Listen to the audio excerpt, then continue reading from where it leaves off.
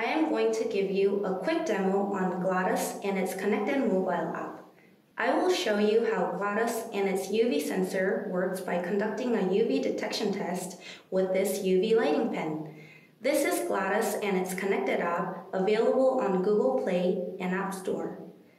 This is the main page that shows you the UV index detected by GLATUS.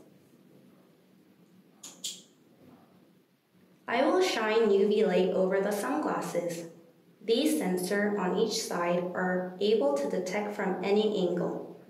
And if you see the mobile app, depending on the UV exposure level, it detects and shows the UV index by high, moderate, and low.